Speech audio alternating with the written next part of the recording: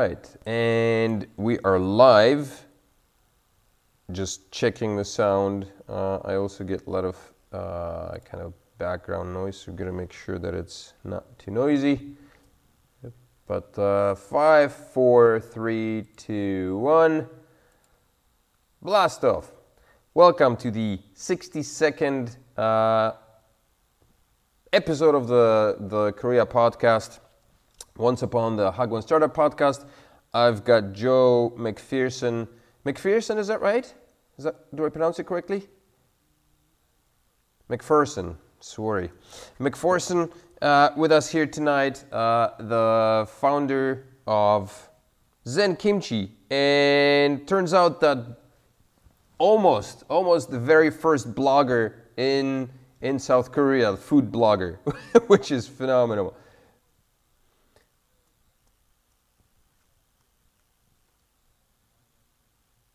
Oh yeah, the marmot. That's right.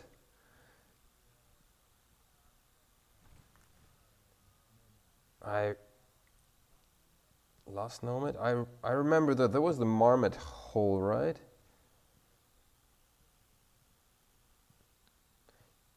Did you did you like were you in contact with all these fellas running these things? Yeah. Oh.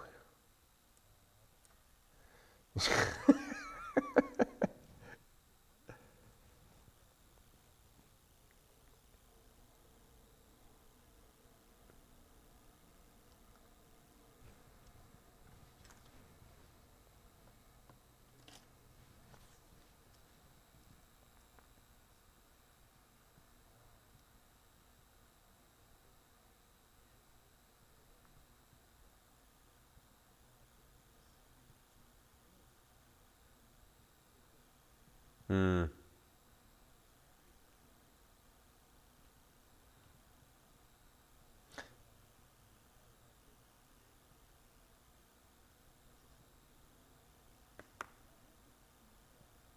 Yeah, it's interesting. It's, it's interesting to hear stuff like that because uh, when I came here in 2000, I, I came in 2005. Um, I was here for three years, uh, two years, and then I left, came back in 2010, and within the short period of only two years, like the entire scene seems seemed to have changed. The country has changed, you know, like it took only two years, and things were different. Um, but I remember when I first arrived in Ulsan. Um, you'd you know you you would bump into people on the street, um, and we'd we'd either say hi to each other because you know I didn't know who that person is, who that non-Korean person was, or we'd say hello because I didn't know who that person was. So either way, whenever you saw an expat on the street, uh, you'd you'd always greet each other, right? And right now, yeah, and right now you just don't even acknowledge each other's presence anymore. So that's that's kind of sad, and I, I, don't know, or maybe good because it's a bit. yeah. Right. Hmm. uh, today is the 27th of uh, April. Uh, the Korea podcast was off last week because um, we reopened our Shane school after the the Corona break, um, and it was just chaos and madness. And I had no time. I didn't upload any videos. I've I've managed to shoot a couple. Uh, I wasn't able to edit them uh, because we're running from like 7 a.m. I basically I wake up at 7 a.m. I'm here at 8 a.m. and I leave past week midnight. Like that was my day. I, I woke up I would come to work, I would eat breakfast, I would eat dinner, and then I would go back home to sleep. That was my week last week. A week.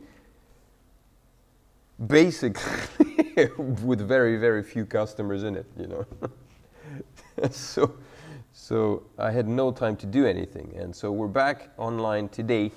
Um, and the Korea podcast is, uh, well, it's about life in South Korea um, and running a business in South Korea which is very befitting to have Joe online here today because he's a veteran in that area.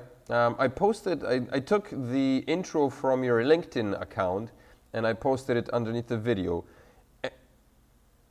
Yeah. well, that was probably yourself or whoever wrote the intro for you on LinkedIn, man. it's it is an impressive uh, uh, resume. Yeah, you you did all that. you did all that. So so maybe let's start from the beginning. Um, your your LinkedIn account says something about you arriving or starting Zen Kimchi in 2004. Okay.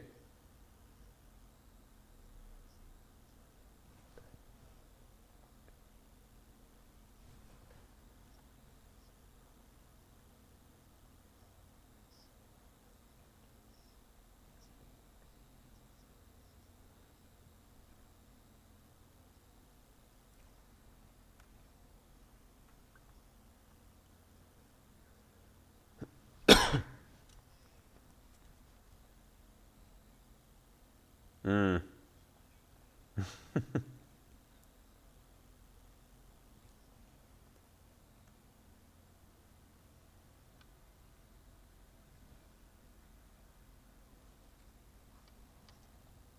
wow, okay.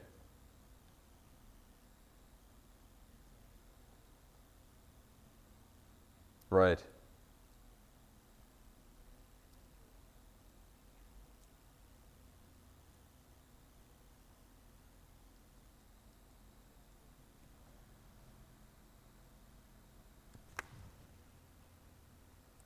looking at other blogs and and I had discovered food blogs and I was looking for a food blog for Korea and I only found one but it already had been discontinued.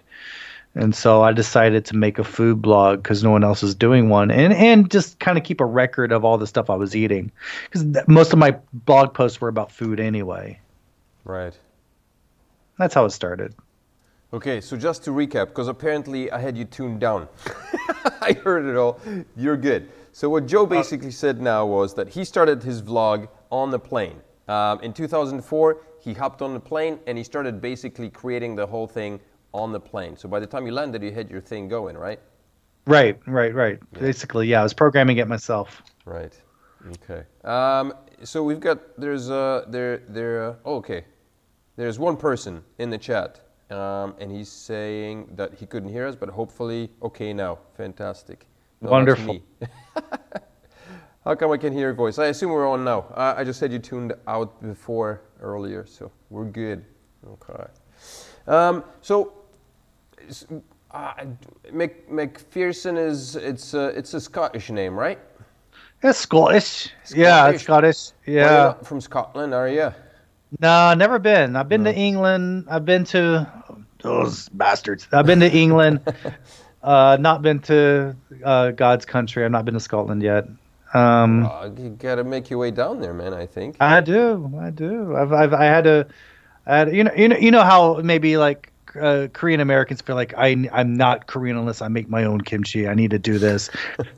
so I felt this need one time to make my own haggis. Right and I did it with ingredients I got from the international market in Itaewon, because I mean, um, you know, they I, I, I saw lamb kidneys. You, I rarely see lamb kidneys even in America. I'm like, mm. I got to get this, and I'm like, what can I do with lamb kidneys? I can make haggis. I'd never had haggis before, so I was looking up online things and ways to make haggis, mm. and lamb kidneys and on and I had lamb liver, hearts, and everything uh, I don't know why I'm telling you this story. And also back then, I had to get oats, and back then oats were really hard to find in Korea. Right. And uh, I had to purify the kidneys by boiling them. Oh my god! Have you ever have you ever dealt with kidneys before? Um, well, just chicken ones. I think they're small, and you, but I could imagine that the smell during the I've boiling. Been forbidden forever doing this again. For a week, our house smelled like a urinal. Right. I had the doors open and everything, and none of it helped. It was nasty. um, so on that topic, um, so in um, my background is from Poland. Uh, uh, I immigrated with my parents a long time ago. We we moved uh, around. We ended up in Canada. Um, so in Poland, there's this thing called blood sausage. Blutwurst. Sorry? Blutwurst. Well, I lived in Germany for a Oh, while. okay, yeah, Blutwurst. Yeah, exactly. Uh, they got that in Germany, so it seems like it's a common trend all across Europe, just eating bloody freaking semi-processed meat. Yeah. And, and so there is, you know, Korea's got its, um, what do you call it? Sundae. Sundae, exactly, sundae. How different is haggis from sundae, I guess? Because sundae is pretty familiar to people who are living in Korea. How, how would you compare Um, now, to- now, the only haggis I've ever had was this train wreck that I made at my house, Right. and and actually turned it into a shepherd's pie, which. Which was I posted it online and all the Scottish people were going, "That's sacrilege! How dare you do that?" it was delicious though. Is it? Yeah. Yeah, it's more like a to me it's more like a meatloaf. it tasted. So, but It did like very peppery meatloaf. what kind of ingredients do you throw into that stuff? Gosh, what was it? It's just think of any lamb innards you could think of that you can get. But it is Um, lamb. You wouldn't use. Um, Yeah, it was- or- No, I was using lamb and uh, mixed it with oats and whiskey, uh, and formed it. Basically, I just formed it into a loaf, and you boil it. Now, usually you're traditionally supposed to boil it in a sheep's stomach. I didn't have a sheep's stomach on hand, Mm, so I just, I just, I just think I just put it in a plastic bag and boiled it. That's so. That sounds so tasty. but it Uh, was it was good. It was edible. It, it was I liked it. It was super rich. It was only a dab will do you. You just eat like three spoonfuls of this, and you're like, okay, I'm bloated for a week. Yeah, I'd be stoked. Um, I, I've I've been considering kind of trying my hand at making, you know, Polish sausages here. Um, but you need time for that. You need, you know, a lot of that stuff is smoked, so you need like a. I was going to say that you need a smoker for Yeah, you kill. need a smoke shack somewhere, and preferably with you know good quality wood to give it that that smoky flavor. Yeah, right? yeah, So- I know. Yeah, and uh, getting good quality wood is a little difficult. It's possible. I've run two barbecue operations, Hmm. and yeah, and sourcing wood is a bit of a challenge. in yeah. Korea, right? Uh, imagine. a lot of people use oak, and oak. A friend of mine said that's the vodka of woods. Is that right? it's like, yeah, it'll it'll get you there, but it doesn't have much character right. compared to. Now I like to use a mix of applewood and hickory. But um, yeah, what would you use for Polish sausage? Uh, pork mainly, but I mean, there's No, like but what, what type of wood? Do you know Oh, I have of- no idea. I wouldn't even know. uh, but I know, like, I looked online, and you can you can Google it. Um, there are there is a uh, a community of you know of traditional uh, Polish Polish butchers, and so you could find whole recipes of the different types of um, herbs that are included that are added to the meat into the mixture. Um, and then, yeah, uh, you know, pig's stomach, you, you stuff into the intestines, you mix up the meat with the, with the, the herbs, you just shove it into the intestines or whatever, and let it, you know, hang for, I don't know how, how many hours to smoke. I'm sure everyone is enjoying this. They all came out here to listen to us talking about innards, stuffing innards and innards. yeah, right. Okay, so let's let's let's retrace our steps. here. we were on the plane and you were leaving. You're so Oh, you're yeah, you're you're from the states, right? right, right, right. Okay, so did you when you left the states was that your first like were you coming to Korea with the goal of you know I'm gonna start a blog or a vlog and No. I'm gonna be you know zippity doo. What was your goal? Why why why were you aiming for Korea? Well, it was just a lot of things lined up. I, uh, at university, I, I, I fell into studying Korean history. Um, the real story was I needed the credits, and that would that that course was open at the time. But when then I took it, and I got really surprised me about how just crazy awesome Korean history is. It's I call it it's like Game of Thrones in Asia. It's it's so full of intrigue and violence. Um, in fact, I'm I'm reading a um, a newer book about Korean history written by two Korean scholar uh, two Korean Korean scholars about the Joseon dynasty, and um, the first 200 years. I've gotten through the first 200 years. I think maybe three people in this history have died a natural death. it's Everybody else. every- and gruesome deaths too. dismemberments. It's just gruesome. And so I really got into Korea. I got really, I got, uh, I wouldn't say obsessed like Korea boo obsessed, but mm. I was more interested. I wasn't interested in the K-pop or anything. I was more interested in traditional things like um, uh, uh, uh, uh, uh myths and folklore. Right. I was really in, more into that, and I, after I graduated, uh, I went straight. I went straight trying to make my fortune in the IT industry, mm-hmm. and that's when the dot com bubble burst. So, um, I thought, okay, all signs are pointing to going to Korea for a bit. I had I had a friend that was teaching here, and she loved it, and I was like, okay, okay, let's try this. Let's try this. And I was I was planning on just coming here for a year, mm. but no, after that first year, I, I liked it better. Uh, I, I just I didn't want to go back. Um, I had health care. Right. So you did come here with the idea of basically like uh, most of us teaching English, right? Yeah, I mean that that's it. I mean, what do you call an American rocket scientist in Korea? Hmm. English teacher. Yeah, it's the only job you can get. Yeah. Yeah. Yeah. Yeah. So yeah, I came here as an English teacher. Uh, and I, I, think everyone teaches English. I've, I've, i know people who own businesses and they still teach English on the side. Own pubs, they own import companies, and they still teach English. Everyone teaches English. Just because it's extra income, or just to kill time? It's, it's, a fallback. It's a fallback, and it supplements your income. I still teach English. Uh, it's it's something that it's something that's kind of something that it's steady. Mm. It's interesting. I actually, uh, it, so one of the videos I recorded just this past week during my lull, and like a very quick was uh, is because the last video I published was um, five reasons why I dislike living in Korea. Um, uh huh. And and the the thumbnail title was "Hate Korea," which kind of drew quite a bit of criticism. Um, yeah. It just, but it wasn't meant to be hate Korea. It just fitted better in a thumbnail. yeah.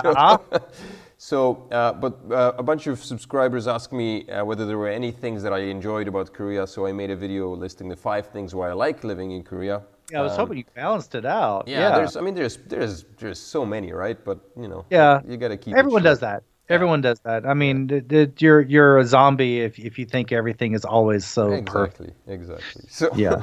so one of the reasons is uh, the whole idea of you know, still being, after so many years of English being taught here as, as a second language, you know, and people making money off of it, it's still, um, people are still able to make a decent living doing that after so many years, right?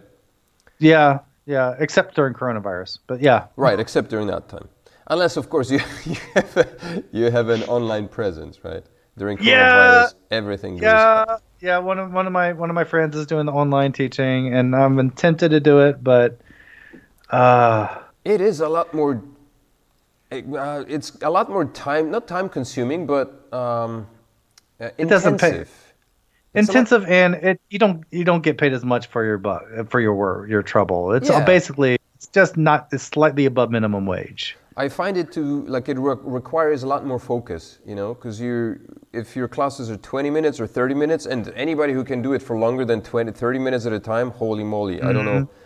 Um, 30 minutes, I've, I've done some 30 minute blocks, and just it feels extremely intense. Like you're just focused on that one student. Um, and if you had, you know, oh, blocks yeah. back to well, back, one-on-ones are rough. Yeah, any type like, of tutoring's tough too. Yeah. Anytime you have one-on-ones, I worked for this hagwon once, and they were always struggling, and they just wanted to put kids in a classroom no matter what. Mm. And I'd be stuck in classes with just one kid who didn't want to be there. And didn't speak anything, didn't even speak Korean, wouldn't even speak Korean. And um, I got away with this one kid who was just tired all the time. He didn't want to speak. So um, I just let him take a nap. That's the way to go.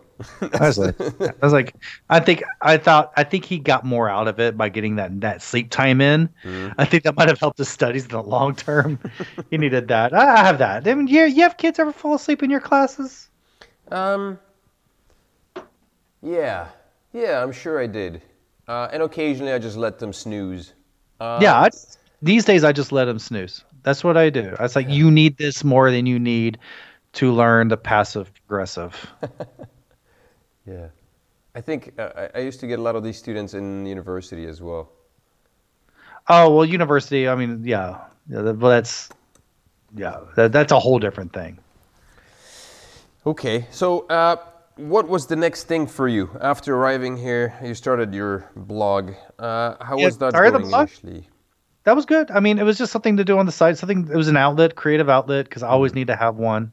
Um, and it, it wasn't meant to make money. It was just something just to keep my focus going. I just need that. I always need some type of project I'm doing to keep my sanity. Because if my life was just about teaching English during the day and going to the wall bar at night, Yeah, that that was just a waste of a life for me. sure. So I just needed to be doing something, and and so I was just plugging away, and it was it really was. I mean, back in those those days, it, there the blogs were digital cameras were expensive, so a lot of those had to be wordy, or and when I did have pictures, they were tiny and really badly taken. Um, and then early 2007, uh, I got a email from the New York Times, and they wanted they were doing an article about the new popularity of Korean fried chicken in New York City, and they wanted to interview me about it because they I mean they did they couldn't find any experts to talk about it. Right. my blog, and um, talked to me. We talked for a good long time. It was fun, and uh, then the article came out, and and, and Zen Kimchi was just all over that article, and the the art, the blog blew up after that. And after that, I started getting uh, more interviews. I started becoming more of a um, go-to person, a connection Right. inside the country. Uh, usually, it hel- I usually just help people uh, with their articles. Uh, I don't get credit for it, but a lot of articles that came about Korean food usually that was kind of a ghost source for a lot of them. And then uh, later, uh, uh, TV projects started coming in, so I was helping with TV projects. Right. And it's been good. Yeah. Yeah, and that was fun because I during that doing that I got to be you know I usually usually was not on TV but I was in the background and I got to meet a lot of uh, of my heroes and that was really fun. Nice. Uh, how? Um, oh, sorry. Just a there's a subscriber, not subscriber. I think it's Kenta, my buddy. Speaking of sausages, I miss Bangus. What's Bangus? And sausages with Bangers maybe I'm thinking bangers bangers. With pig's ears. Mmm. Okay, yeah, with pig's ear at a pub. Mmm. My type of person. my type of person.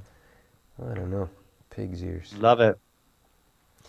So, uh, okay, what are you doing right now? Like, uh, so, so we were just talking before the podcast here, um, and, and I was just mentioning that I was flipping through Joe's uh, LinkedIn page um, profile, and I uh, stumbled up upon some of the videos that are posted on your profile. Um, Uh-huh.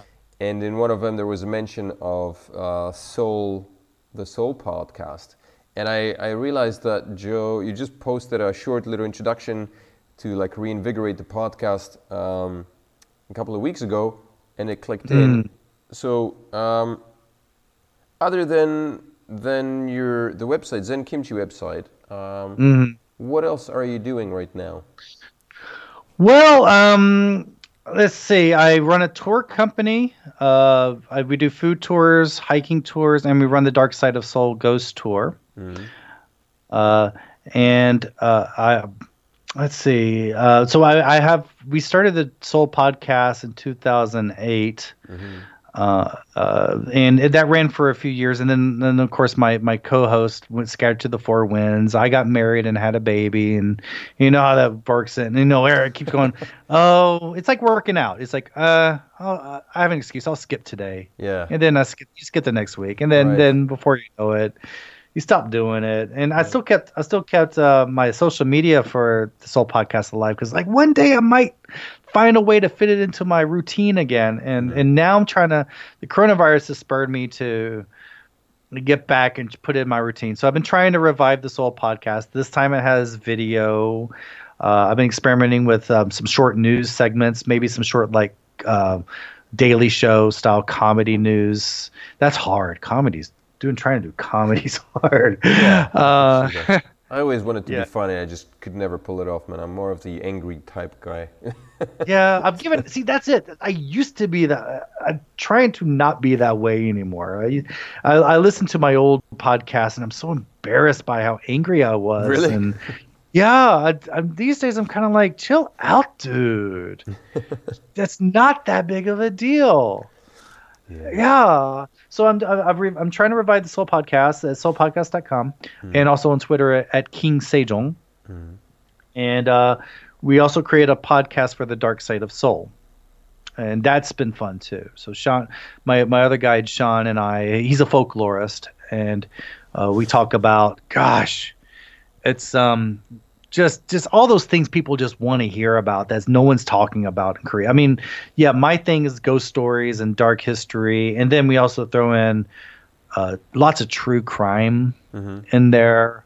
Uh, last night we just recorded the most the most difficult show for me to do was on missing pre- persons, and that was emotionally very rough for me. Um, but th- these are the types of uh, content that no one no one's talking about this, and No. Well, Korea kind of likes things kind of sugar coated for the most part, right? Yeah. People, people like these things. and Like, you know, when you go online uh, and just do a quick Google search, uh, basically, like the last quick Google search on the dark side of Korea that I did, you came up as one of the, like, the only basically dark side of Korea hit. There's nothing. Yay, SEO. You know? Hey, but that's what it is. That's all it was. Way back in the day, if you so you typed Korean food, Zen Kimchi was the first. Yeah. thing to pop Yeah. uh, yeah, um, yeah, that's, that's what it is, and we're covering in this niche, and it's and we just feel like there's a need for other stuff. We we we're show our passion for Korea, but also not this sterilized Korea boo stuff. Uh, uh, we just we, it's a little more of a, a how to say it. A little, and I wouldn't say cynical take. No, cynical. I hate cynical takes. It's, it's a little more of a, a, a sassy take on Korea. Well, that's not necessarily a bad thing, right? No, it's not bad because it's it's also it's just showing a, a, a different type of passion. Yeah.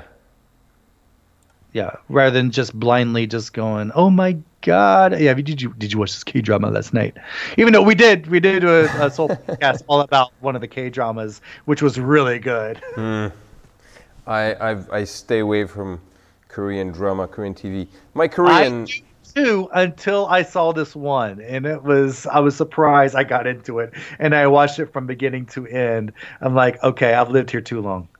I, I My Korean's God. not good enough to watch TV, so like I literally just I don't I'm disconnected uh, yeah, from that's- from that's that.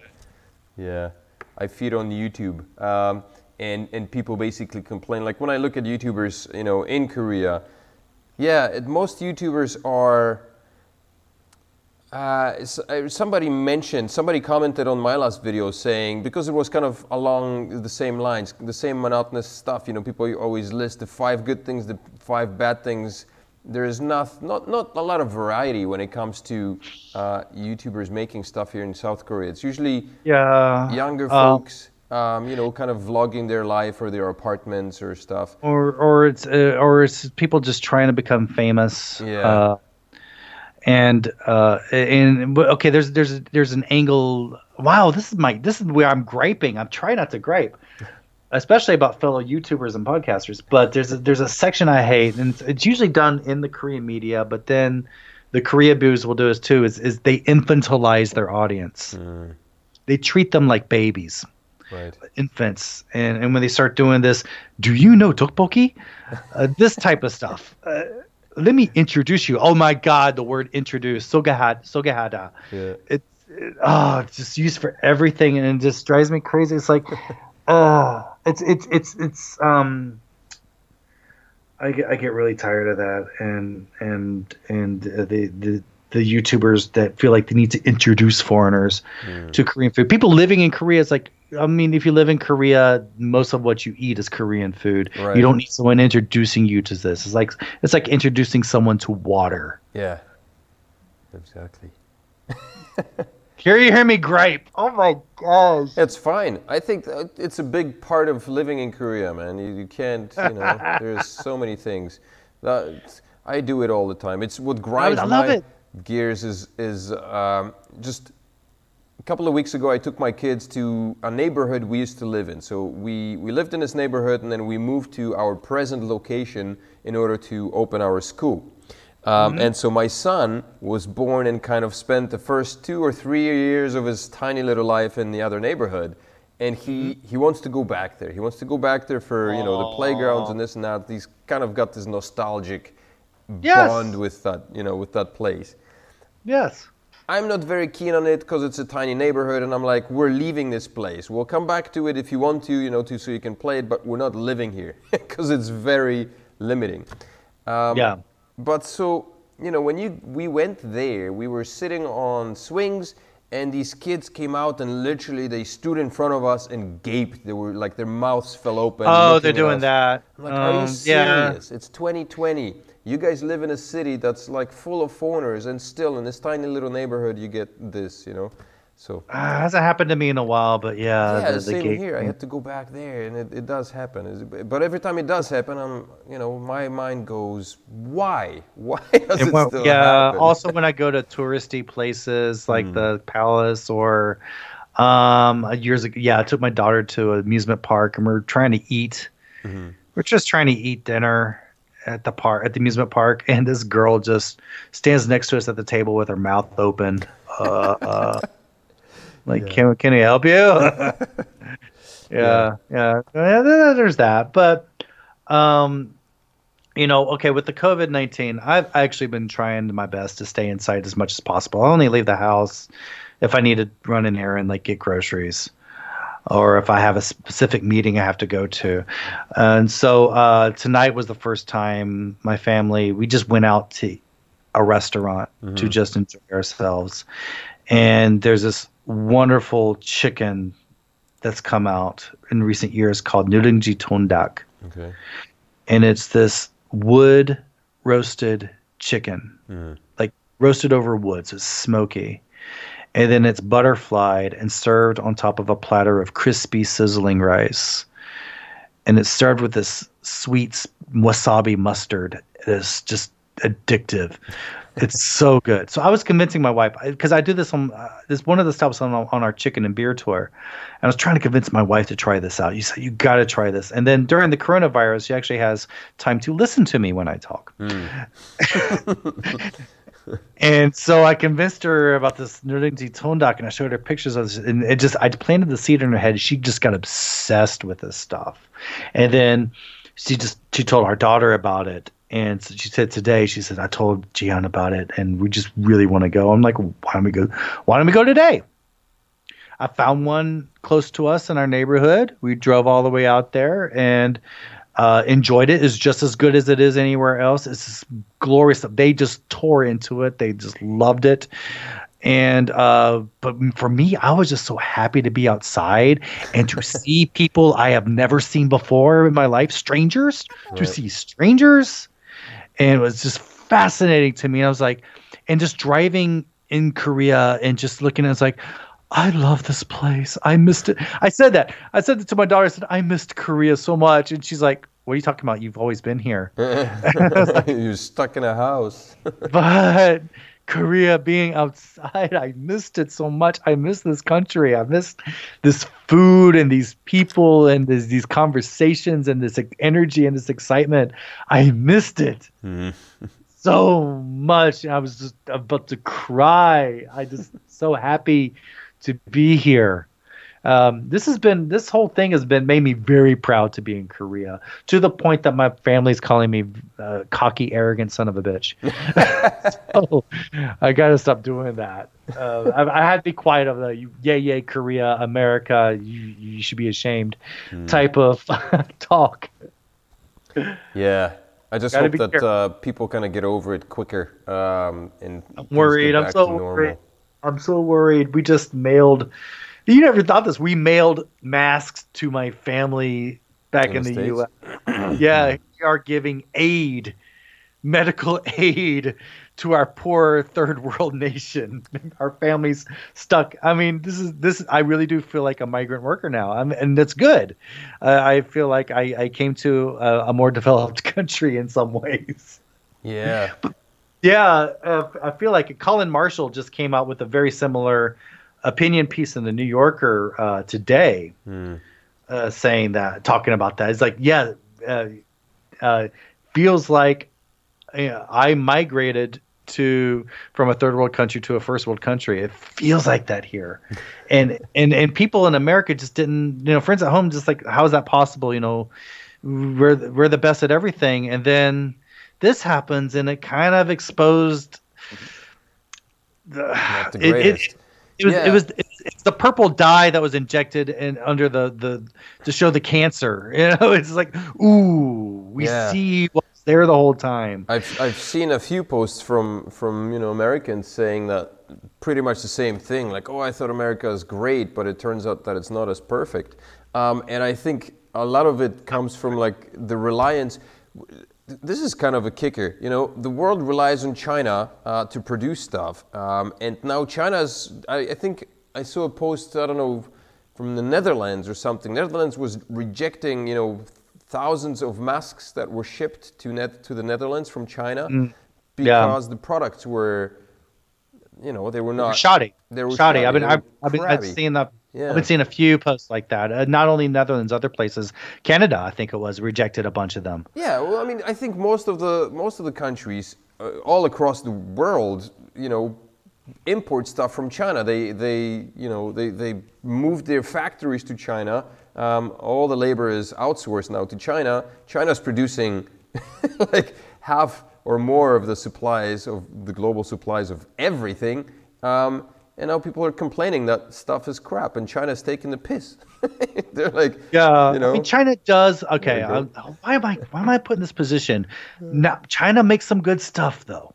China does make some good stuff. Yeah, they do, but uh, I think it's individual. Xiaomi companies. Xiaomi products are pretty good, top notch in my oh, opinion. absolutely. Like I Xiaomi's the new Xiaomi Samsung. I, I got I got I got my my my my Mi Fit my Fitband. Uh-huh. Uh, very cool device and so inexpensive and it's so funny because it's it's a it's a fitness band yeah and it's competing with fitbit and it, it feels like when uh, samsung was coming out first coming out with smartphones well still is coming out with smartphones competing mm. with apple mm. is the the samsung's when apple comes out with a new phone and they keep touting the new features of this new iphone and we're like Samsung came out with that two years ago. Mm.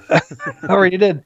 And I'm feeling the same thing with the Xiaomi bands is uh, Fitbit will come announce this new band that's like two hundred dollars. Mm. I'm like, we are already got that on my Mi Fit band for for thirty bucks. Right.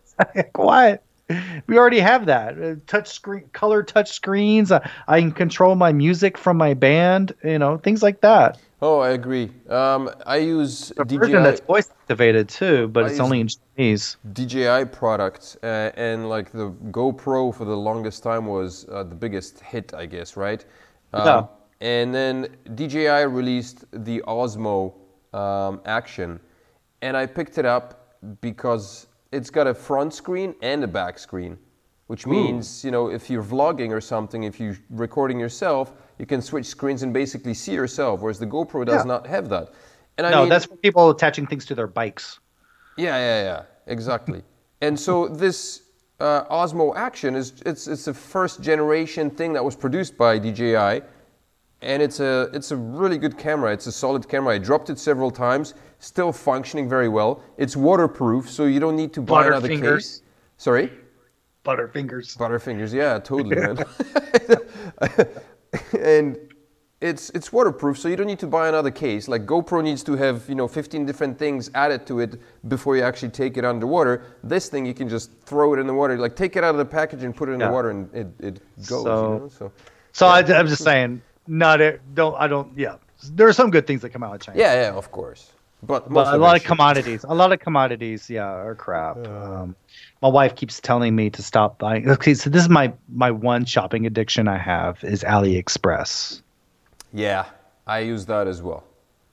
I'm all just for fun sometimes I just go on there and I just and there's always something on there. I'm like, ooh, it's not really that much money. I should get it. No, they got a lot of it. stuff that you probably shouldn't, man, because you could spend then- there hours and hours and end up broke with all those gadgets that they have. There's a lot of crap. I, There get. I mean, there's there's a lot of stuff I, that goes straight in the trash. Yeah. but it looks so cool on there. Or, or always be careful about AliExpress. Is look at the measurements on the thing. Something you think that's going to be this big is eh, yeah, tiny, Yeah. Size of your thumb. to be honest, I've like I've purchased a lot of stuff from AliExpress, and only once um, did I purchase shoes. I was looking for shoes, oh, and I got a pair of to mention shoes. that. Yes. And like literally, the shoes did look nothing, didn't look anything like the stuff, like the picture. And Oh, I really? basically opened a, discl- uh, a, a claim, um, and the the person selling the shoes didn't want to take them back, but I eventually, you know, ended up getting the money back without having to send the shoes back. yeah, yeah, um, because they'll do that because they don't want that knock on their reputation. Yeah, yeah. So I'm like, no, no, no, no. You, But like- my thing is, uh, is I, I'm still so stupid. I do this every time. I've been ordering shoes from AliExpress for a few years now. right? Uh, they usually only last a month, Really? two months. Yeah, um, a well, three months, three three months, years three months, three months. but the last shoes I bought, the Uh-huh. last shoes I bought, I've got some cool winter shoes with the velvet in inline. You know, Mm-hmm. it's really nice. That that uh, um, what's the word, word I'm looking for? Is is that that the stuff they make blankets with? It, but it was nice, beautiful, warm That's shoes. sweet, Yeah. Okay. Yeah, and um, Fleece. fleece. There were fleece lining, fleece linings. Um, uh, I just I was walking. I was on the subway, and I just I just felt something on uh, something. I've, there's a sound when I was walking, Uh huh. like I was tapping Okay. when I was walking. And then I saw on the subway, and I look, and the heel was peeling off of the shoe. Less than a month. Less than a month. Uh, I've been walking. I've used I've, other shoes I bought on AliExpress. They just exploded while I was walking. seriously. like the, the, the sole shattered.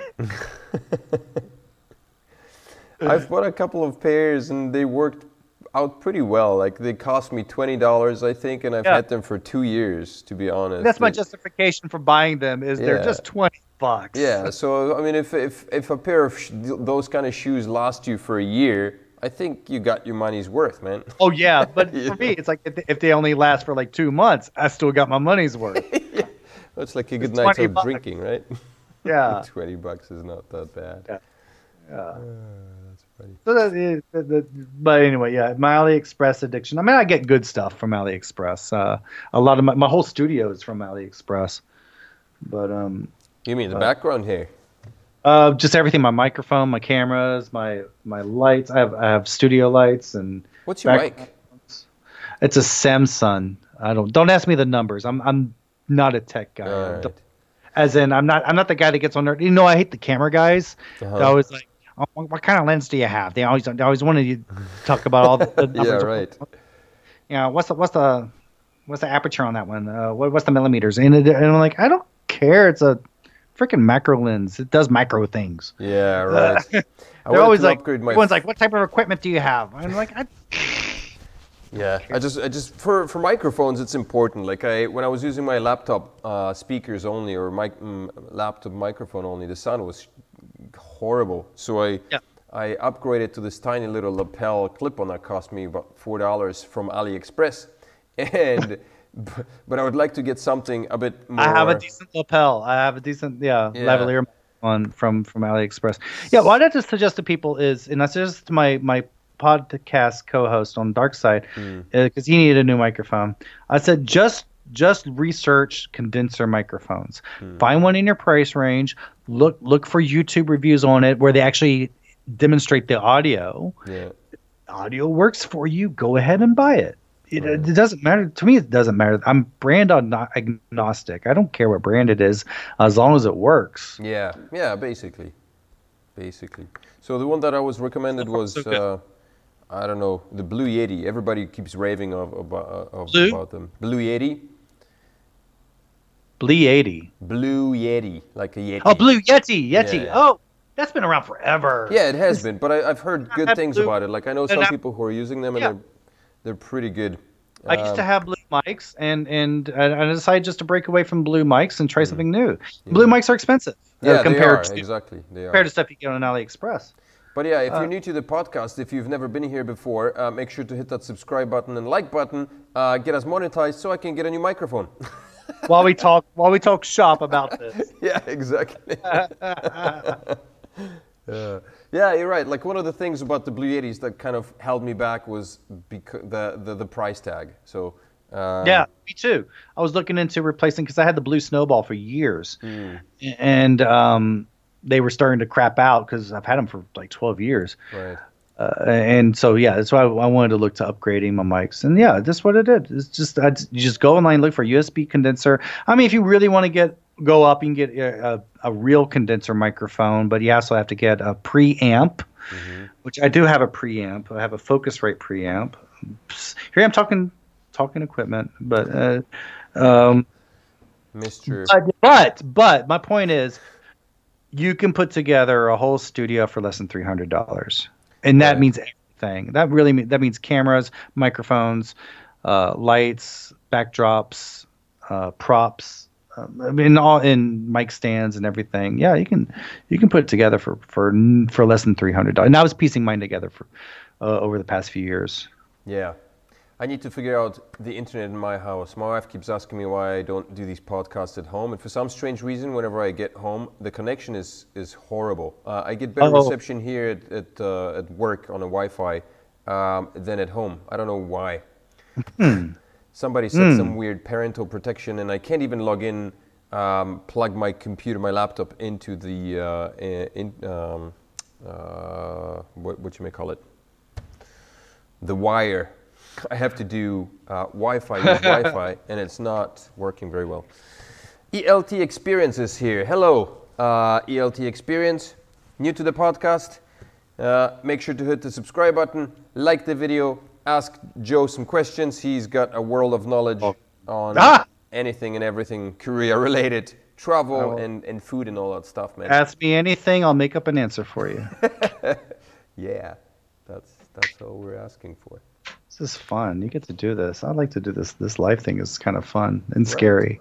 Yeah, it's good. I, I like the interaction. I wish there was more people interacting. Um, No, it's fine. Uh, I'm, I'm just wow. Uh, this is cool. Oh, well, uh, what else do you want to know?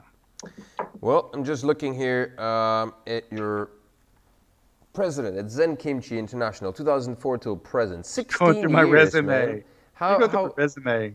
Yeah, it is. A, it's a, a very impressive resume. Uh, Korea food tours. So how, how did you come Yeah. about doing that? The, the Korea food tour. The food tours. Well, my first year in Korea. Um, we, we, my friends and I, we talked about this. We wish there were food tours in Korea. I think a lot of there's something that was badly missing because uh, if you you've eaten here by yourself, it's really it's a different type of. Uh, a the restaurant culture is very different. People don't know how to how things are done. There's there's a lot of little ways of easy. It's easy to make faux pas in restaurants. right. Uh, and also, a lot of people just don't know what the food, good food to eat. Um, you know, I heard people complain, "Oh, I don't like samgyeopsal because it doesn't taste like anything." And I'm like, "Well, did you put samjang on it or anything?" Like, "Oh, you're supposed to do that? I thought you're supposed to eat off the grill." Like, no. Or they'll say that they didn't like, um, you know, the beef soups or the samgyetangs because they tasted too bland. I'm like, "Well, did you put salt in there? Like, there's just salt on the table." They didn't know that. So um, I wanted to do food tiers for years, but um, of course, it was hard to open a business without the proper visa. And finally, uh, uh, my my my girlfriend was happy enough to marry was good enough to marry me and get me a visa. and um, and so uh, finally, I started going. Decided to go after a while, trying to figure things out, and uh, I went into bu- decided to go into business. I uh, uh, took a course. Seoul City uh, has been very supportive. They they ran a business course for foreigners, and at the end of the business course, we got to do like a Shark Tank style tryouts to earn um, incubation offices. And so uh, I did that, and I, I won an incubation office at the uh, Seoul Global Center, and got myself a good, good, uh, good start. Uh, good with lots of support, and we started the, the tours that year in 2012. Um, and mostly it was me just trying to. I was trying to just find niches that I like that were my passions that no one was covering. This is the pattern of everything I do. It's like it's in, something that no one else is doing that I'm really passionate about. So the, the food tours are one thing, but I also was like I miss I love I love like Halloween and haunted houses and and and I I love Korean history, but I don't like that sterilized Korean history you see when you're at tourist trap tourist mm. sites. Mm. Um, and so I started developing the Dark Side of Seoul uh, Ghost Walk, and that was covering a niche. No one, no one had done dark tourism here. You know, like Jack the Ripper tours or right, anything. Right. Like you know, there's nothing like that here. And uh, I was really, it was frustrating to see people come to Korea and leave and not know anything about the history aside from the Korean War and that King Sejong made everything. Yeah, right um, so I wanted I wanted them to to really get a passion, share my passion for Korean history, and it, always feels so good when when after a tour I get an email from a former guest and they ask me for like suggestions for books, history books to mm. order, and that just gets me so excited. And and uh, Dark Side has become its own thing. Dark Side has become we have our own uh, website, Facebook page. Um, Facebook page is very active. We have um, uh, we run watch parties, live watch parties of horror films, classic mm. horror films, uh, with the chat just like this, like chat live chat room. Yeah. Hey, oh, thanks ELT for subscribing to Zen Kimchi. Awesome. um, but we run we run these. It's really fun as you watch a classic horror movie, uh, even some more modern ones. Uh, I say modern, like stuff made in the '80s. Um, and and everyone hangs out in the chat room, and, and uh, we also have uh, um, what's fun is, is we made this chat bot and all of us kept working on this together. We, I was trying to teach myself AI programming and I was using a chat bot. So we created this chat bot called Minji the Ghost. Mm-hmm. And she's like this mischievous teenage ghost uh, that will talk to you. If you go to our Facebook page, facebook.com slash dark side of seoul, uh, and you message us, you won't talk to us. You will talk to Minji the ghost. And uh, uh she's quite mischievous. You can ask her almost anything, and you'd be surprised at the answers she gives you. because because she's been learning. She's she's actually learned. The more you talk to her, the more she learns. Mm. So she's been learning new responses, and she surprises me. The stuff she says. She's gotten so realistic that I've seen people ask ask her for marriage, ask to ask to marry her. Seriously. Yeah. So they, they think she's real, and they're like, "I want to meet you in person," and stuff like that. Uh, ELT Experience was asking, uh, uh, thanks for subscribing. Uh, any advice for finding a teaching job with a uni in Korea? Um, well, that's not my ball. I know who to talk to about that. Yeah, um, I've I've taught at three universities, uh, and my first uni job was in 2010. And back then, you needed. Uh, let me see if I got this right. Uh, you, you needed to have a master's degree. Yeah, you need an advanced and, degree for it. Yeah, and two years of uh, academic teaching experience, or a bachelor's degree with uh, with I think three or four years of teaching experience at like uh, at least a high school level, um, not a hagwon, so in a yeah. public school. So right now, I don't know what it's like, but it's things have changed in Korea. It's not as easy, but um, you will definitely need an MA. Uh, I think to get a, a teaching position without, without an MA, with just a BA, is probably virtually impossible. Extremely difficult. I got yeah. a, I got a friend of mine who had, uh, two friends who've had BAs that have gotten uni jobs, but the one who just got it, I think a year or two ago, I mean, he's been teaching in Korea. He's been in Korea longer than I have. It took him a long time to get to this level, and mm. uh, but he loves it. Once he once you get that uni job, uh, he, he, pretty much loved it. Uh, yeah. For me personally, decent, like it was really good. Um, I love decent pay. That the schedule's good. Yeah, the vacation's well, the, good. Yeah, the pay is so-so. Uh, it depends where you where you live, I think, regionally, but it varies mm. from anywhere from like 2.3 to 2 eight or maybe three point something million won per month. Yeah. Unless you have a PhD, in which case obviously you fall under a different category of you know of of, uh, of an educator. You're not an English teacher. You probably would be teaching in your department, not uh, just ESL. So, um, and, and in this case, your pay would be a lot better.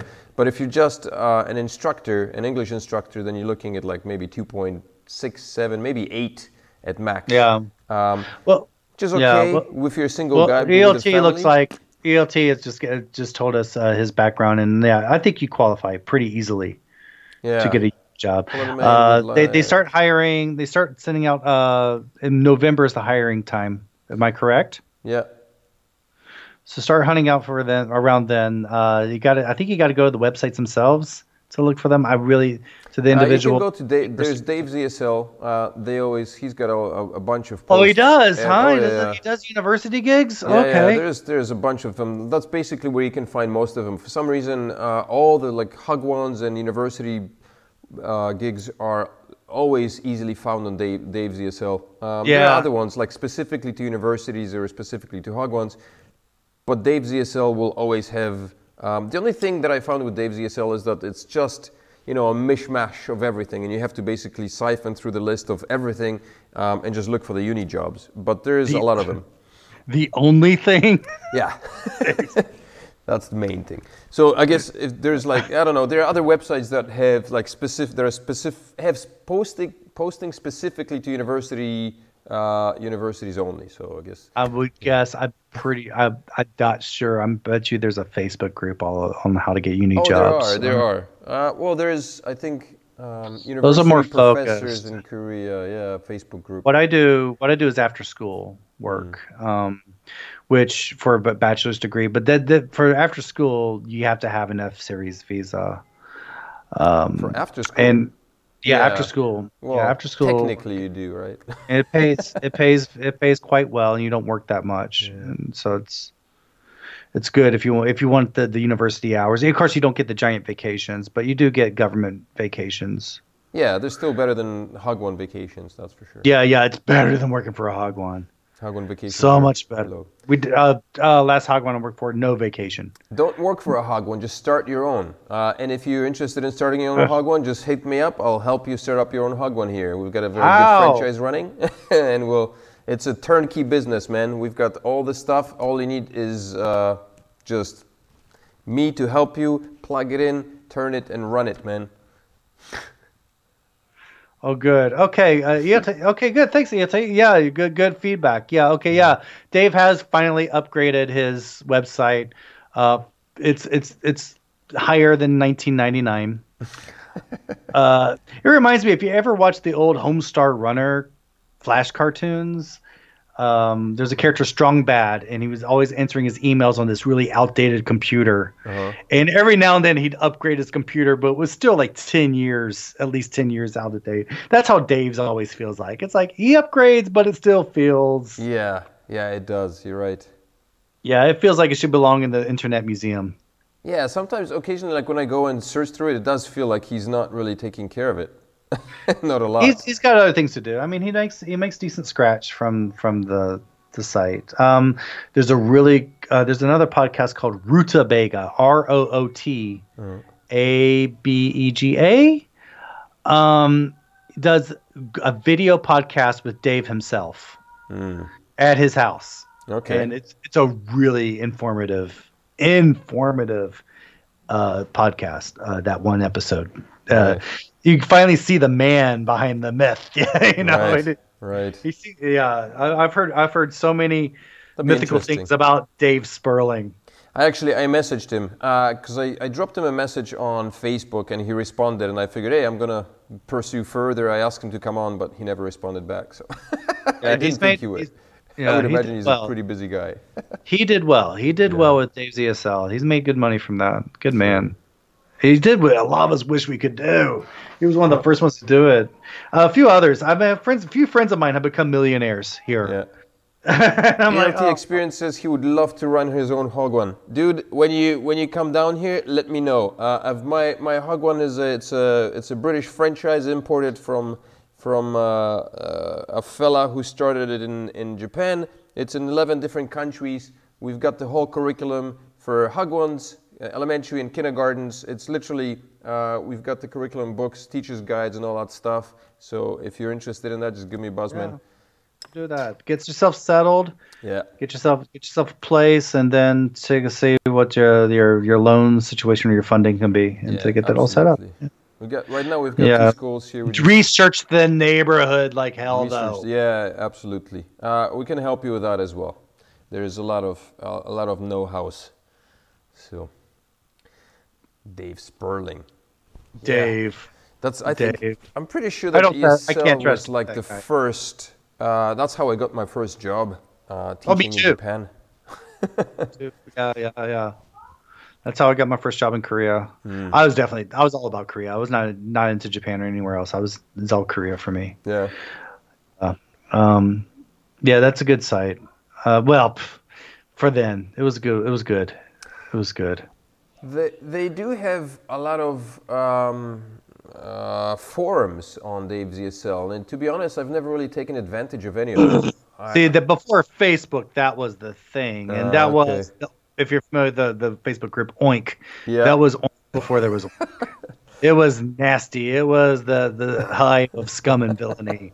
Was in fact there there's there's a book there's a private Facebook group out there, some like former posters to Dave's ESL Cafe, Yeah. and it's it's filled with a lot of the prominent people that were on there back in the day. Um, it was it was quite it was quite a mess that that that site. Um, I started avoiding because once once my blog started going up, uh, uh, I think there were entire threads, there were entire like blocks that were just dedicated to trashing me. and it was amusing to hearing all the conspiracy theories people had about me. What conspiracy theories were there? I'm trying to remember them all, but it was, um, oh gosh, um, I mean, thing- things like I was I was being paid by the Korean government to do all this stuff, Really? uh huh, and I was I was living high on the hog, and um, uh, uh, yeah, just just a lot of weird stuff, uh, and it got me realizing like, wow, I mean this is how rumors come about. This is how conspiracy theories come about. Sure, when you're sure. when you're the topic of a conspiracy theory, it really opens your eyes to makes you way more skeptical of all the conspiracy theories that are out there. you, you see how easily they can be invented. Yeah, work, and, work and play is another one. Uh, ELT experience says work and play is another good website. They've Uh, been around forever. Yeah, too. they have been. Yeah, I know there's a bunch They're of them. Probably like whack of them went under over the, the, the past decade as well. But uh, Yeah, there's a Waygook, W A Y J G O O K. hmm. well. I, I got a bunch of them still on my bookmarks, and and there's a lot of Facebook groups. And these days, I get my my postings. I get I usually get them my information from Facebook groups. Yeah, there is one. I think uh, ex. What is it? University professors, teachers, and university professors, something like that in Korea. Mm. Yeah, you're a whistleblower on Dave's ESL. Whistleblower, say, oh, I was I was Zen Pickle. I was Zen Pickle. I still am. Yeah, back in the day. Back in the day. Oh, that was nuts. That was nuts. Um, so what else do we do here? Um, well, we're, what can I help you with? Usually usually the podcast is about an hour. Um, so Oh, an hour already. yeah, like time flies, man. An, an hour is short. We could probably go on and on. Um, just ramble about random stuff. But I gotta wrap up as well, man. I gotta send in reports. do that. You gotta go home. I gotta send in reports. My wife's Yeah. probably sleeping already. I gotta send in reports. I'm gonna get in freaking hot water because I, I think I was supposed to send them in by 11, uh, and I Oh, tweedle man. deedled until. Oops. Oops. Oops. You're in trouble. Yeah. So. But yeah. Well, this was fantastic, man. Joe, thanks Had for agreeing time. to do this. Thank you. It was much fun. Much Yeah, fun. Likewise. This is a fun show. I think I'm going to become. I'm going to become a regular viewer. So this is you- great. You, you should become a regular host as well. oh, oh my gosh! I didn't hit subscribe. Here we go. And now I'm subscribed. All right. do subscribe. uh, I, just posted subscribed. I posted Joe's website Zen Kimchi underneath the link. Um, Yeah, as if you've never many- heard of it before. so many projects. ZenKimchi.com, KoreaFoodTours.com, Dark Side of Seoul. Uh, Can you find all Seoul those links Hike, through your Zen Kimchi website? Seoul Podcast. Um, you know what? I should update Zen Kimchi to yeah, you totally should. Uh, like because you Seoul know. Podcast is now it's been revived. I've been cleaning up the old website. What do you getting run go- podcast through? Do you run it through, like, how do you, Uh, you broadcast on? Much blah, yeah, blah. We're using Buzz. Okay, this is Talking Shop. We're using Buzzsprout to host the shows. Okay. I used to host. I was hosting them on my server and doing everything myself.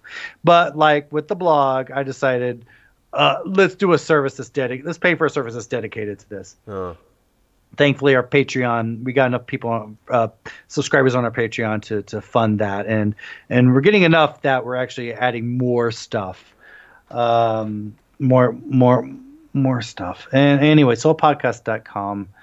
Um, tomorrow we're having a premiere and we're interviewing Geoffrey Cain, who just came out with the book Samsung Rising. We talk about um, Samsung. Uh, no, man. Oh my God, the history of Samsung is effed up. is that right? It's so it's it's a cult. It is like you're reading about a cult, and and there's there's there's drugs and sex and murder Well, and I, I wouldn't be surprised. That's probably most of the conglomerates, man. You'd probably no, find something like that in them. also the history of Korea. It's just beautiful. It's just like it's just like reading about a Chosun dynasty king. it's just so it's it's uh Shakespearean. you gotta hear this. Uh, it it's good. It, it it premieres tomorrow evening on YouTube and Facebook, and and also if you go to seoulpod, seoulpodcast.com, you could actually, uh, if you subscribe, you could actually download a preview of the episode uh, on audio. Yeah. Cool. So that's what I'm working on. We're working on my podcast, getting them going while the tour business is You're a busy kind guy, of. man. I mean, we're doing the we are doing the dark side tours still. We re, we reopened them. Uh, now social distancing distancing's been relaxed, and it's an outdoor tour, so it's safe. Yeah. Um, That's good. I'm, I'm hoping to do to do that as well, man. Be become like right now. I'm still in the teaching world. I am teaching full time here and just do YouTube and everything else part time. And I kind of hope to switch that, become a bit more of a manager um, in in my my Hagwon business, uh, less of a good. teacher. It's good to have goals. It's good to Yeah. have goals and outlets because you need those. Yeah, and then and then work more on, on YouTube and, and the podcasting and stuff because I'm really enjoying that, man. It's a lot of fun. Uh, and I don't like have an outlet, you become one of those negative people on Oink. Yeah, who just, right. who just hates everything and Oh hates man, himself. my, my somebody somebody suggested that uh, they to post my last video, the the five things I, I don't like about Korea on Oink, and man, it got a bashing, but also got a lot of views, so that's good. Yeah, good on you. it was fun. There was some very deconstructive criticism, man. Like the video got bashed. Do do do a video about Oink and see how what see what happens. Oh yeah, that's not a bad idea. Actually, that That's is not a bad bad because. I actually I actually know I'm friends with the creators in the of Oink. and Maybe not the Oink himself, but the, the people. no, no, Oink. the creators are good people. It's Oh, just I wouldn't. No. it's just it's just like Dave. Dave Sperling's a good person. It's just Sure. It's followers. It's like, any religious leader. Their followers are messed up. Sure, sure. yeah. Oh god, no, no, ELT. It's, it's it's fun to have you talking. Yeah, Uh, absolutely. No, no harm. Don't apologize. Don't apologize. And I gotta say, surprisingly today, the feed is just phenomenal, man. Uh, I don't know if it is like if it's if it's your connection, but um, usually the, There there's is a bit one of one person I recognized. stuttering. Where in the in the chat? Yeah, one person I recognized in the chat. Yourself, No, Ron. Ron, Neil. Ron works- Ron, Ron, Ron's the big guy over at TBS eFM. Oh, okay. Ron, where is Ron? Ron is at the top. At the very top. He came in early, saw that it was me, and he left. He's like, forget that guy. ah, there you go. Ron Chang. You can tell Joe eats a lot of sundae. Sundae. Uh, yeah, yeah. Very nice. I do like the sundae. No, Yeah? I don't like it. I don't like it that much. No. Um, chapsa sundae, I love the not the not the stuff with the glass noodles inside. It tastes like a rubber ball. Yeah, right. Um, the stuff the with stuff- the meat inside. The stuff with actual with this made with fresh rice. Mhm. It tastes like it tastes like meatloaf to me. It's like it's like a it's like a proper Blutwurst. Yeah, It tastes like a blood sausage. yeah, It's- yeah. That's the one wonderful. I like as well. There's a restaurant like that in Masan that serves only that. They've got like just sundae dishes with with Ah. exactly that. It's just meaty and it's more of a European type blood sausage. Yeah. There's uh, a chain, a chain called Sinuiju. Yeah, maybe that was it. I don't remember. There's none. I haven't seen them in Ulsan, but uh, we used to live in Masan, and so they had those there, and those Yeah, were really that. good. Yeah. Good. It's really good. Uh, Okay. Uh, let's close shop. all right. it's been an hour. I'm sure you got stuff to do. No, it was no, great having you here, Joe. Yeah, it- yeah, it was great being here. Yeah, let's let's stay in touch, man. I'll I'll message you again, and uh, I don't know. We'll we'll see if we can. If if you can use me for something. I'll figure out a way to use you, buddy. All right, sounds good. Okay. all right, take care. Bye. All right, take care. Bye bye. All right, so Joe is gone. This was a fantastic chat. Thank you all for tuning in. Uh, if you're new here, if you haven't seen this before, this particular podcast, or been to the channel, uh, make sure to hit the subscribe button, like the video. Uh, I think this was a fantastic chat, and uh, uh, thanks to Joe again for coming on, agreeing to do this. Um, and make sure to come back uh, next week for another podcast. I don't know who it's going to be with. I don't know what's going to be on the podcast. I haven't really planned that far ahead. My life is life is kind of a um, thanks raccoon. Uh, uh, was great to listen. Last five minutes, Nikki, you can tune in and uh, and and basically check out the podcast. Me talking with a legend here uh, of broadcasters in South Korea. Very cool to talk to him. Um, I, I'm aiming to upload another video on Wednesday. I haven't uploaded anything last week, and I hope I don't slip into the thing that Joe was talking about. You know, like you skip one day and another day, and before you know it, you're not doing anything.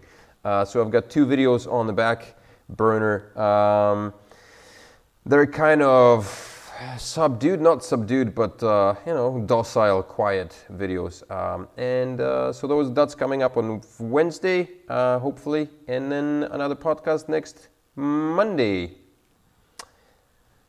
which should be interesting. I don't know. I hope to get somebody on uh, and and have, you know, another good conversation.